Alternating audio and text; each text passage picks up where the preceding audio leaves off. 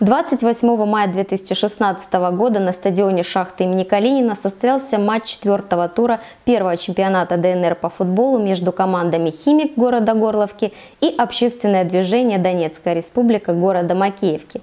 Перед началом матча состоялся концерт, в котором были представлены яркие танцевальные и музыкальные номера. Мероприятие было посвящено Дню химика и Дню пограничника.